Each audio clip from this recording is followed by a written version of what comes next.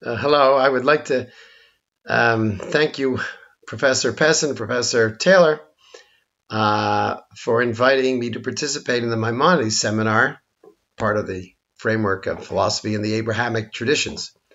Uh, before I begin, I'd like to say that I'm somewhat unused to this format, and as a result, um, even though I have a PowerPoint and I appear in a small window on your screen, I certainly hope, uh, there are there's material in my lecture which is actually not in the uh, PowerPoint. So uh, if you have to choose between the, one or the other, you better do well to listen to me. And occasionally there will be summarized points and then passages instead of a handout uh, on the PowerPoint. In any event, once again, I'd like to thank you for the invitation, for the opportunity to revisit a difficult and scholarly contentious issue in Maimonides. Uh, the plan of my talk is as follows. I will open with a few preliminary remarks on divine will in the Guide of the Perplexed, and then I will consider particularly the distinction between eternal will, uh, Mashiach Kadima, and novel will, Mashiach Haditha, as well as the evidence that Maimonides accepts the notion of novel will with respect to God. Now, what I mean by novel will is that God may will one thing at a time and not that thing, but not that thing, but something else at another time.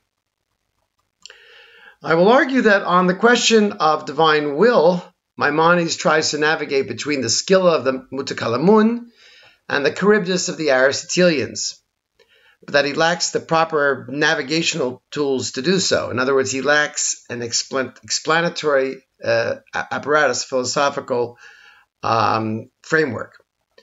What he's left with are conflicting commitments that he feels to be, at least at present, irreconcilable. Uh, I will conclude that Maimonides' rejection of the claim that God eternally wills the world into being, which he associates with one of the Latter day philosophers, is genuine and thoroughgoing and consistent with his claim that Torah teaches that God has novel will, a claim which actually appears in a work posterior to the Guide of the Perplexed, indeed, his last work, as we will see. But first, a preliminary, a few preliminary remarks about divine will. Um, divine will for Maimonides is not an attribute, because Maimonides denies that God possesses any attributes in the sense of there being properties superadded to his essence.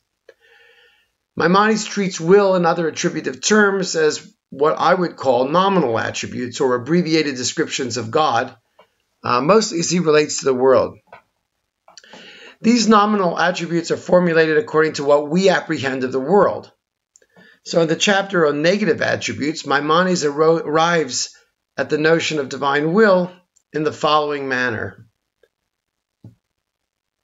He writes, We apprehend that the existence of this being, that is God, which is, is its essence, suffices not only for his being existent, but also for many other existence following from it, and that this emanation, unlike that of heat from fire and the proceeding of light from the sun, is an emanation that constantly procures for those existences duration and order by means of wisely contrived governance. Accordingly, we say of him, because of these notions, that he is powerful, knowing, and willing. The intention in ascribing these attributes is to signify that he is not powerless, nor ignorant, nor negligent.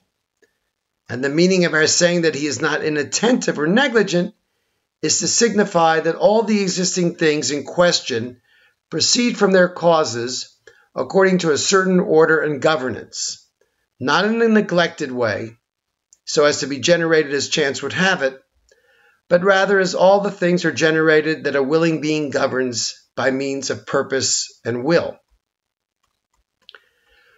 Uh, so, will can be viewed as a nominal attribute, sort of shorthand for the notion that God brings existing things into being and governs them through purpose. Now, that the world is the product of divine purpose is taught by Scripture, according to Maimonides, and can be shown by means of proofs approximating demonstration. And this is precisely what he does in the chapters uh, or, or concerning creation. Maimonides also believes the goal orientedness of natural things is a strong argument for divine purpose. While he recognizes that this is not conceded by the philosophers, he claims that they are forced to posit a divine or intellectual principle to account for this goal orientedness. It's true that they do not view the world as the product of a purposeful voluntary deity, but rather as proceeding of necessity from this divine intellectual principle or cause. Now, Maimonides rejects the Aristotelian notion or view that the first cause is not a voluntary agent. But he also rejects the view of some or one of the latter day philosophers, which, which scholars often identify with Avicenna, that God eternally wills or purposes the world into existence. In a well known passage, Maimonides writes, But this is not the meaning of purpose as we propose to conceive it. For we wish to signify by the term that the world does not necessarily proceed from its causes without being able to be separated from it, or to change unless its cause or one of its modes also change.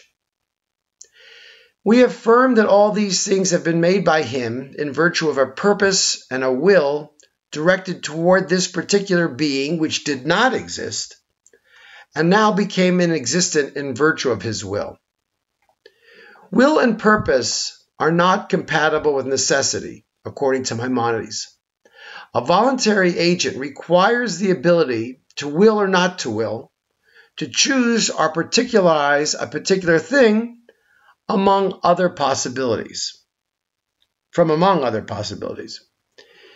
Now, Maimonides allows that having chosen to create the world at a certain instant, God can perpetually will the world to exist, in which case the world is eternal a parte post. But he insists that God may be he be exalted, has the power to change the whole of the world, or to annihilate it, or to annihilate any nature in it that he wills. To suggest otherwise is problematic for two reasons. First, it implies that God is unable to change nature, that he lacks, for example, the ability to, quote, lengthen a fly's wing or shorten a worm's foot, end quote, which constitutes for Maimonides a disgraceful notion concerning the deity, and hence a reason to reject it. By the way, I mentioned when he says that this is a disgraceful notion concerning the deity, the inability to lengthen a fly's wing or shorten a worm's foot, he's using the same philosophical justification for rejecting um, the notion of uh, eternity, or, or actually not the same, but the, a similar um, consideration that the Aristotelians did when they claimed that the notion that God acts at a certain time and then begins to act or acts, doesn't act at some time and then acts at another time when the world is created constitutes a disgraceful notion concerning the de- deity. In any event, there's another reason. Maimonides, and I think this is actually a very critical one. Maimonides says that an eternal world or a world that proceeds eternally from God implies that scriptural reports of miracles must be explained figuratively. That there cannot be miracles the way he understands it, which is temporary suspensions of the natures of things. And the figurative interpretation of at least some miracles is rejected as based on fantasies, what he calls hadhayan. If the world is the product of divine will and purpose, then just as God particularized the world to exist at a certain time in the way that it exists, God can, should he so wish, alter the nature of things or even abolish them entirely.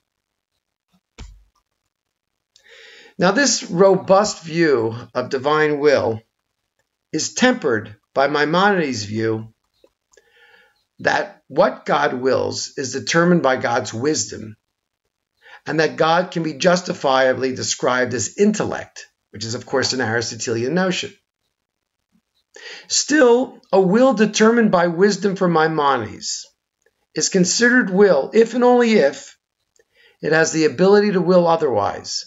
And in God's case, the historical fact of well attested miracles shows not only that God has the power to suspend the nature of things, but that he has historically, in fact, done so. So, this moderately robust notion of will also emerges from Maimonides' response to one of the philosophical arguments for the eternity of the world. The argument goes as follows A voluntary agent acts at one time and not at another, based on the impediments or incentives that hinder or motivate her actions. But God is not motivated or hindered by such incentives, incentives or impediments. Hence, there is no cause for an alteration of will. That is to say, for him to act at one time and not at another, based on impediments or incentives that hinder or motivate actions. On the contrary, God's action, this is still the philosophical argument, God's action exists continually inactive, from which follows that the world is eternal. Now, Maimonides' response is that this is indeed true of corporeal agents who possess will, since their will is determined by things external to them, for the sake of which they act. But incorporeal agents need not act always in the same manner, since their action is consequent solely upon their will, by which he means that they do not act for the sake of anything else. Certainly no external impediment or incentive. This allows him to claim that not only does God's action not change when he acts after having not acted, his will does not change when he wills after not having willed. Quote, For the true reality of will means to will and not to will. Now, the context here is God's willing to bring the world into existence after willing it not into existence or and not willing it into existence.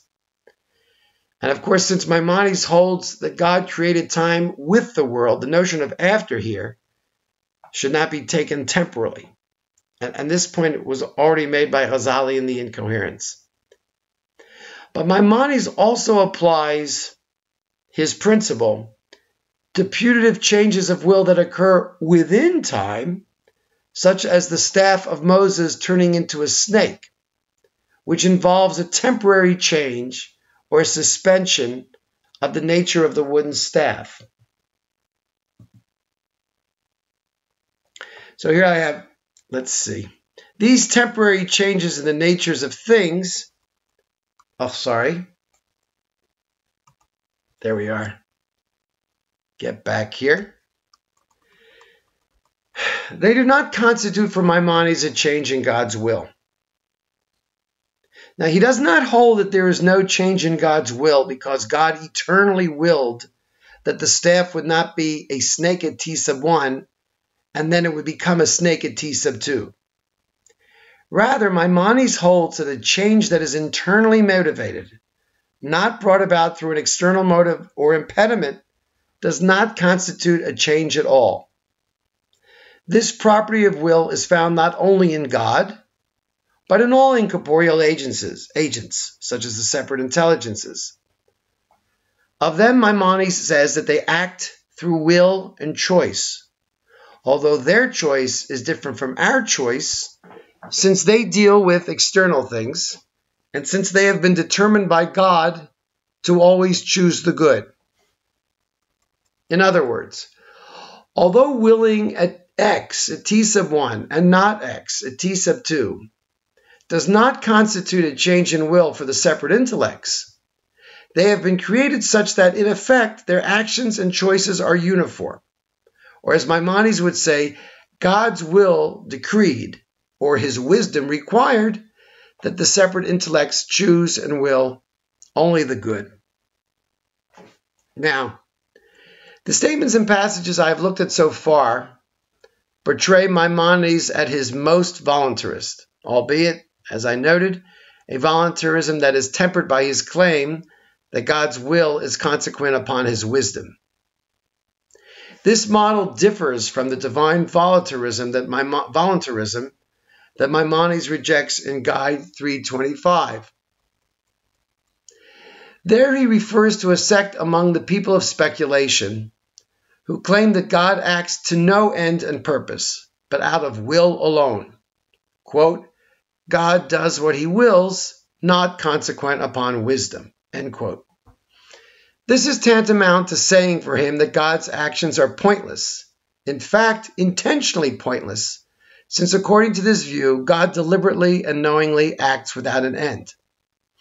The sect was led to this view because they correctly hold that God created the world from will alone. They assert of necessity what everyone asserts who maintains that the world was created in time.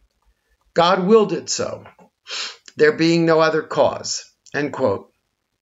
Their mistake, however, was to infer that because there was no reason for the world as a whole, there was no reason for any of its parts. Now, although this appears to imply that Maimonides agrees with these scholars that the world was created out of brute, inexplicable will alone, he states explicitly here that none of our scholars and none of our men of science believe that creation came about through the will and nothing else. He continues, For they, our sages and scholars, say that his wisdom may he be exalted, the apprehension of which is beyond us, affirmed of necessity the existence of the world as a whole when it came into existence, and that the self same immutable wisdom affirmed non existence before the world came into existence.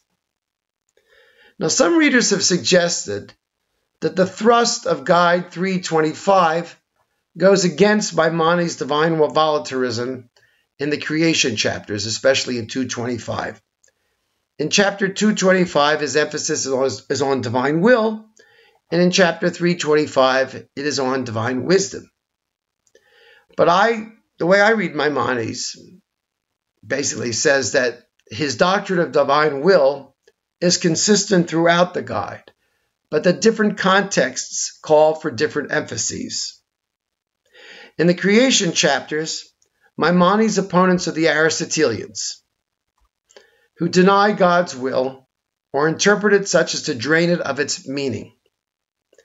In the chapters on theodicy and the purposefulness of the world in part three of the guide, Maimonides' opponents are those who consider it to be an impiety to impute purpose and rationality to God's world and to his law. Maimonides, consistently throughout the guide, never himself adopts the position of will alone to the exclusion of wisdom. As he puts it, the idea that any of God's actions is vain, futile, or frivolous is incapable of being, being expressed by any intelligent purpose. None of God's actions are arbitrary since they express purpose. Even the production of the world at a certain instant, which is attributed to Guide 225 and throughout the book to divine will, is attributed in Guide 325 to an incomprehensible divine wisdom that necessitates the existence of the world as a whole at the moment which it comes into existence and its non existence before it came into existence. Maimonides replaces God's acting from will alone without a cause with God's acting from a wisdom that is often incomprehensible, and by so doing, avoids the problem of God's acting for no purpose. Now, in fairness to the contradiction hunters, Maimonides is not consistent in his use of the phrase will alone. It depends on context. Thus, in Guide 123, God's acts are said to be accomplished by means of will alone. In that chapter, will alone means without an instrument, a position that is accepted both by adherents of the law and the philosophers. In Guide 218, God acts are also said to be accomplished by means of his will alone, but there the phrase means not for the sake of an external end, a position that is accepted at least by adherents of the law, but also perhaps by the latter day philosophers mentioned in Guide 221. In Guide 313, Maimonides considers the final end for all that all that exists to be God's will alone, for which no other final end can be sought. This view is said by him to be similar to the view of the philosophers that there is no ultimate end for all that exists besides the permanence of its, its existence. And in Guide 317, the claim that events befalling humans are consequent upon will alone is associated with the Ash'arites and not with the adherents of the law of Moses or the Mutazilites or the philosophers. So the moral of all this is that the will alone position varies according to the context of this discussion, and doubtlessly according to Maimonides' dialectical purposes. But as I just said, he is always committed to divine will being directed by divine wisdom. I'd like to say a few words about this um, the relationship between divine will and wisdom. What does it mean, according to Maimonides, for divine will to be directed or determined by divine wisdom? We recall that according to him, God deliberately brings existing things into being and governs them by means of purpose. So, will implies intentionality and purpose. Although God never acts for the sake of something external to himself, because that would make that which is inferior the goal of that which is superior, his actions for his own sake creates a world that has purpose and which is goal oriented. The blueprint for the world, including its being created after its non existence, is part of God's wisdom. Now, some readers have argued that because Maimonides denies the reality of attributes and identifies divine will and wisdom, in effect, he reduces divine will to wisdom. And if he identifies wisdom with intellect and knowledge, that his moderate voluntarism is tantamount to that of the latter day philosophers, who hold that God wills the world eternally into existence, despite his disclaimers. Now, in other words, despite Maimonides' disclaimers. Now, since Maimonides explicitly says that God's will is eternal and unchanging, this is part of this argument, it follows because of Leibniz's law that divine will is eternal and unchanging. And this would seem to rule out God changing nature or abolishing nature, which of course contradicts what we said above. This is what I would call the reductionist strategy, um, particularly of those people who want to say that Maimonides is uh, sort of secretly Aristotelian, thoroughgoing Aristotelian. But does Maimonides claim actually that divine will and divine wisdom are identical? The evidence generally presented for such a claim is twofold. First, as I've just mentioned, Maimonides appeals to divine will and wisdom as alternative explanations, both of which he appears to accept. Second, and more to the point, Maimonides says that divine will and divine wisdom are identical with God's essence, from which one may wish to infer that they are identical with each other. Indeed, since Maimonides does not believe in the reality of attributes, doesn't the identity of will and wisdom follow from the self identity of the divine essence? Or, I would say, from the identity of will with the divine essence and wisdom with the divine essence, it follows that will and wisdom are identical. In Guide 218, Maimonides writes, quote, For in our opinion, volition too is consequent upon wisdom all these being one and the same thing. I mean, his essence and his wisdom, for we do not believe in attributes. Now, although Maimonides takes the reference of these to be God's essence and his wisdom, couldn't the same be said of God's wisdom and his will, that they are one and the same thing, especially for one who denies the reality of attributes?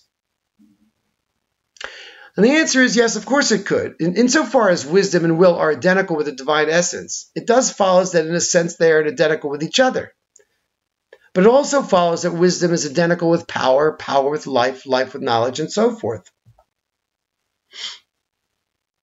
But while this makes such attributes ontologically one and the same thing, they are distinct with respect to our understanding. Thus, we can talk about God's will without talking about his life, Or we can posit relations between attributes, even though those relations are obviously from our perspective only. To use a phrase from contemporary philosophy of language, talk about divine attributes for Maimonides is referentially opaque. Certain predicates can be truly affirmed of certain divine attributes and not of others, because the truth of those predications depends upon the different contexts of those attributes. Even the attributes of life and knowledge, which Maimonides argues in Guide 153, quote, form in this case one notion, end quote, will have different predicates affirmed to them, of them. It is true of God's knowledge, for example, that it encompasses the infinite, according to Maimonides, but is not true of God's life, that it encompasses the infinite. Maimonides simply wishes to say here that God lives and knows by virtue of the same notion, which is not the case with other knowers and living things. In fact, as has been pointed out by the uh, Israeli scholar Eliezer Goldman, if we look at what Maimonides actually says about the relation between will and wisdom, we see that he implies a fundamental asymmetry between the two that rules out conceptual identity. In several places, God's will is said to be consequent upon divine wisdom, but nowhere is God's wisdom said to be consequent upon his will. Will is consequent upon wisdom, not because they are ontologically one and the same thing, but because God's will is directed by his wisdom, or better, God's will is not arbitrary or without a purpose. This not only shows asymmetry, but also that of the two attributes, wisdom has pride of place as that which directs divine will, which in turn executes the requirements of wisdom. When Maimonides answers certain imponderable questions about the heavens in Guide 225 with, God willed it so, or his wisdom necessitated it to be so, he is not basing his parallel answers, God willed it so, or his wisdom necessitated it to be so, on the ontological identity of two, of the two nominal attributes, but rather on his view that will is consequent upon wisdom. Or to put this another way, the ontological identity explains to us nothing about the conceptual relationship between the two. Maimonides never appeals to the fact that divine wisdom and divine will are ontologically identical to explain anything about the other. One might think that the notion of intentionality already presupposes wisdom or intelligent design. Yet, as I mentioned above, Maimonides report, reports the views of a sect that holds that God intentionally and knowingly acts without any end or utility. So while formulations like God willed it to be thus and his wisdom determined it to be thus are alternative descriptions of the same phenomenon, they don't mean the same thing. God's wisdom determined that the world be created after not existing. But that wisdom, which is eternal, did not entail that the world is eternal. Maimonides says explicitly the same wisdom determines non existence and afterwards existence without being a change in the wisdom when the world begins to exist.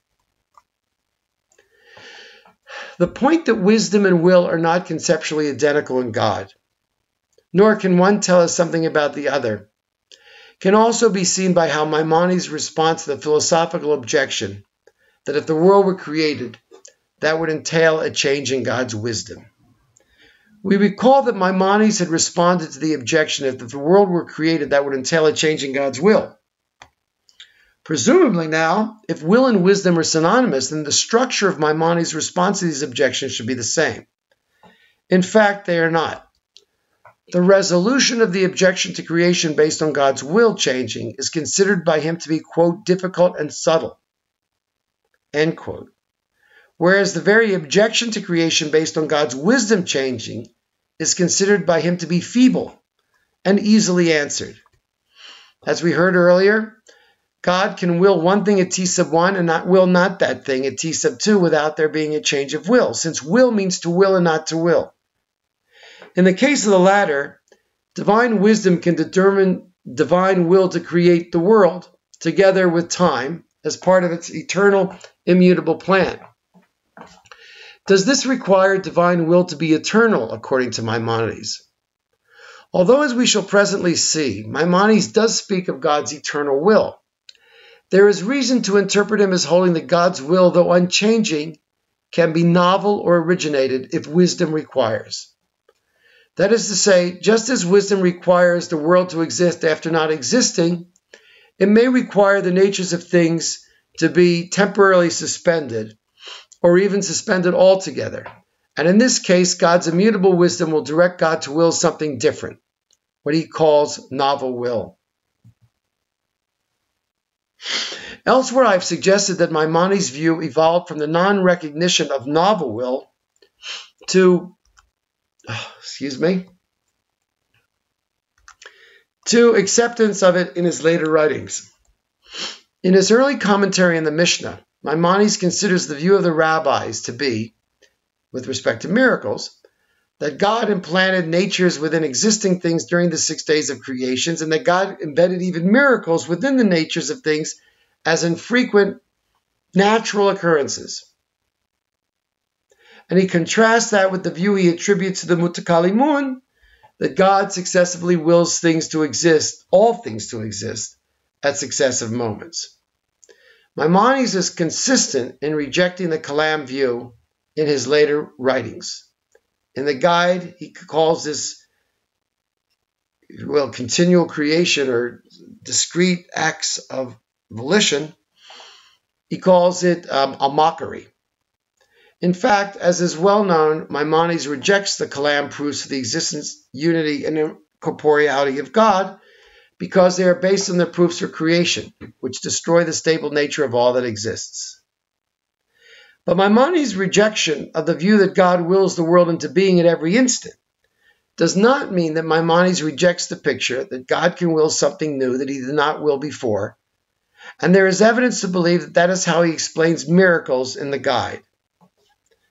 For example, in the guide, he cites the rabbinic explanation of certain biblical miracles being created at the time of creation. This is, this is what he had said earlier in the commentary of the Mishnah.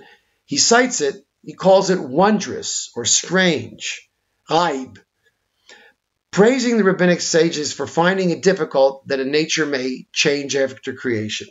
The fact that miracles are somehow embedded within the natures of things, uh, at the time of creation, he gives two thumbs up to. But though the rabbinic sages come up with a quasi-naturalistic interpretation of miracles that finds favors in Maimonides finds favor in Maimonides' sight, he ultimately understands miracles in the guide differently. Where the rabbinic sages hold that miracles too are, in a sense, natural, for example, as explained by Maimonides, they believe that the water's nature was such that when the Israelites walked through the Red Sea, it flowed upwards, and when the Egyptians walked through it, it flowed downwards. Maimonides claims that miracles involve temporary, temporary changes in the certain particulars that God willed to change. The most likely interpretation of this is that God's eternal wisdom required his will to effect a change in the nature of water when it changed. Not to create something within the nature of water at the time of creation. A less likely, though possible, interpretation from Maimonides is that God eternally willed the Red Sea to split when it did. Aquinas, for example, distinguishes between God's eternally willing a change, like the creation of the world after its non existence, and a change in God's will. And as we've seen before, Maimonides says that God's will, strictly speaking, does not change. But Maimonides does not take the Aquinas option, and the reason is, I think, because he understands God's eternal will to refer to something else. It refers to the governance of the world according to the natures of things. Thus, the phrase eternal will appears in the guide in conjunction with God's bringing calamities or punishments upon a people in accordance with his eternal will, which the medieval commentators understood as a natural consequences of their a consequence of their wicked behavior. Moreover, when Maimonides discusses the creation of the world after it's non-existent, he doesn't speak of God's eternal will, but rather of his immutable wisdom, which requires the world to come into existence at a certain instant, the first instant after its non existence. This suggests the singularities, such as the creation of the world, has its roots in divine wisdom rather than in divine will. And this makes sense because will carries out what wisdom directs it to do. If the creation of the world were an act directed by divine will only, in the sense that wisdom was not involved, it would be intentionally pointless and futile, as we have seen. Similarly with miracles. Nobody would claim that miracles are arbitrary, pointless events. On the contrary, they reflect wisdom as well as will and power. Now, this is particularly true in the case of the, of, of the scriptural promises and threats. For example, if the Israelites, it is said, um, if you will walk in my ways, in the ways of the God, I will give you rain in its at its proper time. Now, in Maimonides' earlier writings, there is no indication that he understands the scriptural promises to involve anything contrary to nature or supernatural.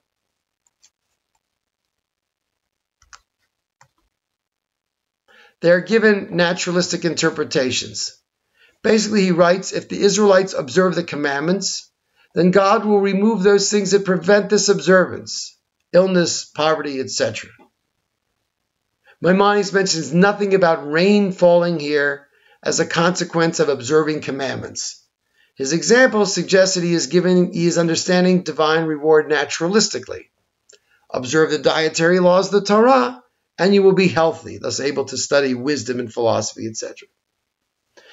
But in the guide, Maimonides explicitly says that if the world is eternal, if the world is not a product of divine will, the way he understands it, in the non Avicennan way, we could say, this gives the lie to miracles and to Scripture's threats and promises. While he doesn't call the latter miraculous in the guide, he does call the threats and promises miraculous in the treatise on resurrection, which was written quite shortly after he completed the guide. There he writes, the law affirms it as a continuous miracle over that generation. That is, success in the Jews' activities if they obey God, and failure if they disobey. The meaning of Deuteronomy 4:19 to 20 is that the community situation does not follow the pattern of the situation of the other communities. No, they are singled out by this great miracle. Success or failure in their activities will always be linked to their actions. By calling the promises and threats miraculous, and by limiting them to the Jewish people, Maimonides, or at least the Israelites, Maimonides clearly indicates that the fulfillment of the promises and the threats is not to be given a naturalistic interpretation. In other words, obey my law and you will live healthy, productive lives. This is stated explicitly in Maimonides' last work, his medical aphorisms, where he criticizes Galen for misunderstanding the prophets Moses' teaching about divine will and power. In that work, Maimonides attributes to those who held that the world is eternal the view that God has no novel will or choice, and that's where it is said for the first time. It is evident for he who says that the world is eternal in this manner, the manner of the Aristotelians, that God has no novel will nor choice, and there is no possible thing existing on which he can exert his power and will, so that, for example, he is not able to give us one rain on one day and to withhold it on another day according to his will.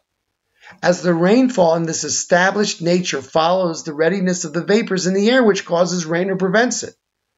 All this follows the readiness of matter, upon which God does not act and the matter with which God cannot interfere. Here Maimonides says outright that the Torah's view is that God, according to his will, can give rain one day and withhold it on another day. Right? And that the belief in the eternity of the world implies the denial of this God, this ability, the, the denial of this power, and the denial of God's novel will.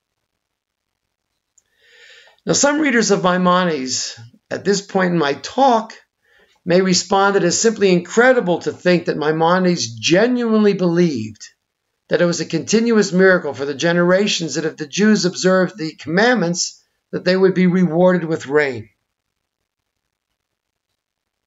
It is better to understand Maimonides' statements, they say, on this matter as a reflection of what he calls a necessary belief for the sake of the people's welfare. Now, a necessary belief is a belief necessary for the abolition of reciprocal wrongdoing or for the acquisition of a noble moral quality.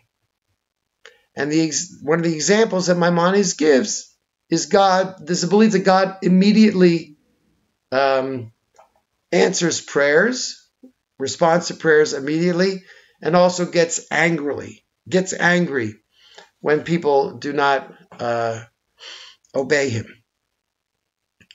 Now, um, the notion that this is a necessary belief, uh, in this case, would be the same as the, the myth taught to the, the Sabians, who the, the, the stand ins for the idolaters that Maimonides refers to.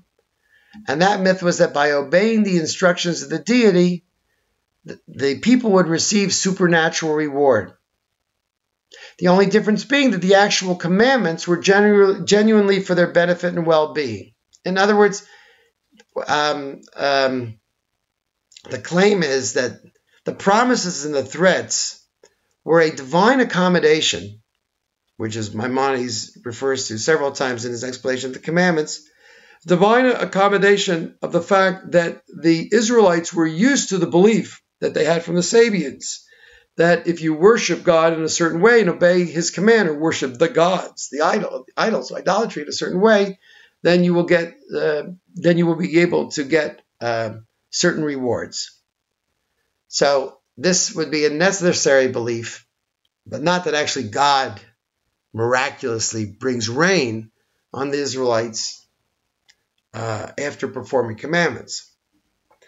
Now, this is a common response among readers of Maimonides, but in my opinion, it rests on a misreading of the passage in Guide 332. In fact, what Maimonides wishes is to wean the Israelites away from is the Sabian belief that by performing certain ceremonies and practices, they cause the rain to fall. This belief in theurgy is, of course, a direct violation of Maimonides' view that what occurs below has no causal effect on what occurs above. All right, this is a, sort of a straight philosophical view. But this is different from, if you will, it's a straight Professor Pessin's Neoplatonist view that the activity goes from the higher to the lower in the hierarchy of being. But this is different. This Sabian view that by performing commandments one causes the rain to fall. This is different from God's promising to reward miraculously the Israelite observance of the law with rainfall. Since both the promise and the actual reward served as incentives for the Israelites to obey the law. And make no mistake about it, Maimonides claims that these threats and promises were in fact fulfilled.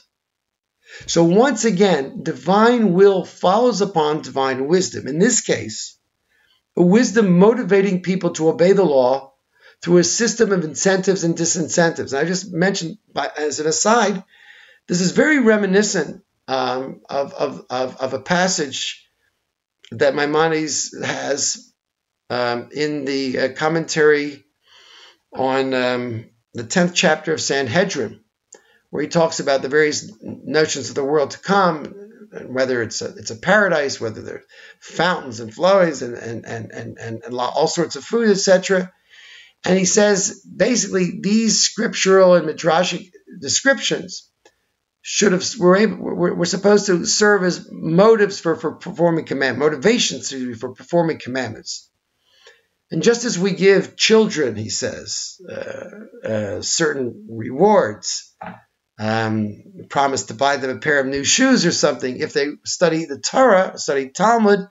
So to the Jews or the Israelites were, were, were given these incentives. And the incentives actually were given. You gave the you give the shoes to the child, and God performed the miracles in order for them, for the Israelites who were on a lower spiritual level, to be motivated to perform the commandments. Anyway, in the time remaining, I wish to examine what philosophical resources Maimonides has for this notion of divine, uh, or uh, sorry, this notion of novel will. As I said before, Maimonides claims that the notion that God is powerless to shorten the wing of a fly is a disgraceful notion concerning the deity. But he concedes that the Aristotelians don't agree with him on this. He also has an elaborate argument for creation that exposes deficiencies in Aristotle's celestial science and that he claims are the product of God's will or his inscrutable wisdom. Now, if his argument is a good one, the argument for creation is a good one, then and if he it is correct to make the uh, connection between uh, creation after absolute nothingness and the ability to uh, perform miracles or to have a have will one thing and not something that not that thing at a later time, then clearly um, um, um, he has certain philosophical arguments for his view, but but these are for the most part negative arguments. That's what I wish to say. My question here is Does Maimonides have the resources that allow him to give a philosophical account of God's novel will? And my answer is he does not, primarily because his philosophical worldview is still largely Aristotelian. While he recognizes that his views on these matters are not Aristotelian, in fact, are opposed by the Aristotelians, he does not, and I would suggest he cannot, provide an alternative explanation although, as we shall see, he hints that an explanation could be forthcoming. And at times, he seems to lapse into the Aristotelian way of looking at these matters. So, does Maimonides have a model of modality that allow for unactual actualize? Oh, sorry again. Let's see if I can get that back here that allows for unactualized possibilities. Well, the idea that God chooses to create the world in a certain way at a certain time, but he could have chosen otherwise, he could have chosen otherwise, or that he could choose to change or destroy it, suggests a model of modality that allows for alternative, unactualized possibilities. Now, that model is adopted by the Kalam theologians, who claim that anything that can be imagined is possible. And so, for anything to exist, there is required a particularizer to choose among the possibilities. This particularizer is only minimally constrained. He can't create and not create something simultaneously. But there is nothing in the nature of things that determine his choice. The particularizer chooses to actualize a set of possibilities among other real possibilities or to accord existence rather than non existence to the world, both states being considered equally possible. Now, on the one hand, Maimonides seems to reject this view. He argues that the intellect and not the imagination is the arbiter or criterion of what is possible. Yet, on the other hand, he himself holds that the world was created after absolute non existence, and he realizes that this is considered by the Aristotelians to be unintelligible. In one passage, actually in more than one passage, he wonders out loud what criterion enables us to distinguish the possible from the impossible. And in one of those passages, he poses six questions, one after the other, none of which he attempts to answer. One of those questions is how imagination is to be distinguished from the intellect. You can say that only the intellect should determine what is possible or not. But how, he asks, are we to, to differentiate imagination from intellect. And at the end of this passage, she writes, all these points, all these are points for investigation, which may lead very far. Now that rules out a principled skepticism, in my view, on his part, but it leaves the reader hanging as to whether Maimonides has a theory that can account for God's choosing or particularizing the world to come into existence in a philosophically respectable way. What we would like Maimonides to explain is in what way is the non existence of the world possible? How is he understanding possible here? Clearly does not wish to say that what is imaginable for God is possible, since God does not have an imagination. In other words, what is missing is a philosophical explanation for the moderately robust voluntarism to which he's committed. He needs a theory of possibility that will allow him to go beyond the Aristotelianism that rejects miracles and creation ex nihilo as impossible, that indeed accepts a principle of plenitude, which says, as we will see in a minute, Maimonides actually formulates every real possibility is actualized, at least at some time. He needs a theory of possibility without falling into the trap of kalam voluntarism, especially the Ash'arite view, as he brings it, that the divine will determines at every instant the configuration of the world, a view that denies the natures of things according to Maimonides. That Maimonides wishes to stake out a middle position between the Kalam and the Aristotelians on the issue is seen frequently throughout the guide. It is seen in his appropriation of Kalam, the Kalam view of God as particularizer, provided the nature of what exists is not destroyed. It is seen in his approval of God's bringing the world into existence after non existence through will, although God's wisdom decreed it to be so. It is seen in his view that God wills the anomalous movements of the heavens by implanting into the celestial bodies natures according to what divine wisdom requires. A nod to the philosophers because he talks about natures, but which cannot be explained on Aristotelian principles.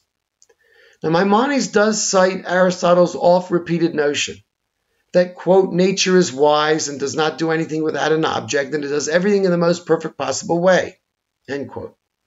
But he goes on to say, as we have seen, that divine wisdom, which is eternal, does not necessitate that the world is eternal, but determines that the world come into existence at a certain point. What is the status of states of affairs that have not yet come into existence because God has not yet willed them into existence? Now, there are two statements in Guide 325 that appear to rule out the notion of unactualized possibilities. At the end of the chapter, Maimonides holds that God primarily intends to bring into being, quote, everything whose existence is possible, existence being indubitably a good. And earlier in the chapter, he says that God's entire purpose consists in bringing into existence everything that possibly exists in the manner that you see. In all these sentences, the emphasis is on the world being a place of maximum existence, maximum good, as opposed to a world which is willed into being by a God who does not act from wisdom or for the good, as, as the ignorant think. That Maimonides draws on Aristotelian teleology and on the classical principle of plenitude is not surprising. He is, after all, talking about the natural world in the manner that we experience, not a situation in which the natures of things are suspended through divine will, consequent upon divine wisdom. Yet, there is a line in Guide 325 which, if interpreted in a certain manner, suggests that Maimonides allows for unactualized possibilities. As it's, it's at the bottom of this slide. As translated by Shlomo Pines as well as Solomon Munk and Samuel ibn Tibbon, the line reads, quote, God wills only what is possible, and not everything that is possible, but only that which is required by his wisdom to be such. End quote. This can be read to suggest that there are possible natures or states of affairs that are not required by the divine wisdom to be brought into existence, but still can be willed into existence in certain circumstances should God's wisdom require it. Now, recently, Alfred Ivry has rejected this, this third statement on the basis of the other two statements, actually on the basis of the statement, the first statement we cited, which is at the end of the chapter. But in Maimonides' last work, his critique of Galen on Mosaic religion, that with, with which he concludes his medical aphorisms, Maimonides, for, Maimonides' formulation is suggestive of a God that wills the best among possibilities that are not actualized. After rejecting Galen's views that according to Moses, God can do that which is impossible, Maimonides writes, But we do not accept this, but say there are things which are impossible in themselves, and these God never wishes to come about. But he wishes only possible things to occur. And among the possible things, oh, sorry, among the possible things, he only chooses the best and most adequate and excellent. This Leibnizian sounding formulation still lacks a philosophical account that explains the notion of unactualized possibility, but it certainly shows a Maimonides who deviates from the standard statistical model of modality found in Aristotle. Unfortunately, Maimonides says nothing about the status of possible things that are less than the best, that God doesn't choose. One of the medieval commentators in the guide, Shem Tov ben Joseph ibn Shem Tov, gives us an example a hand with six fingers rather than five. That would be possible for God to create, but would not be the best. In any event, I see nothing in, th- in Guide 325 which rules out or even goes against the statement made earlier in 219 that, quote, all things exist in virtue of a purpose and not of necessity, and that he who purposed them may change them and conceive another purpose, though not absolutely any purpose whatever. For the nature of impossibility is stable and cannot be abolished as we shall make clear. End quote. God cannot do the impossible. But precisely what is impossible is at the heart of the dispute between the creationist and the eternalist. If we assume that Maimonides genuinely believed that God created the world after absolute nothingness and that this was incompatible with the view of the philosophers, then God is to be exempted from the classical principle of plenitude, which Maimonides formulates as, quote, it is indubitable that what is possible with regard to a species must necessarily come about. This will be affirmed by the Aristotelians, but not by Maimonides, in reference either to creation or miracles. The world created by God, in accordance with his wisdom, operates according to the principle of plenitude, but God is not necessitated to create that world, and in fact, could create something else. So, to conclude, how far does Maimonides go in rejecting Avicenna's compatibilist approach to divine will and necessity? The answer is very far. But he does not go over to what he considers to be the, the, the, the side of the Kalam and its analysis of possibility. Given the work in recent years on Ghazali and uh, the attempts to view him more with or, or less within a, a uh, um, aimless, pointless, voluntaristic Ash'arite perspective, it is indeed worthwhile to compare Maimonides with, with Ghazali. But I can tell you right now, in my opinion, unlike Ghazali, Maimonides is, does not break with the conceptual framework of the Aristotelians, and when he has problems with that framework, is very, very open about it. He is left, therefore, with unreconciled commitments and with this very tantalizing statement in 315 points for investigation that may lead very far. Uh,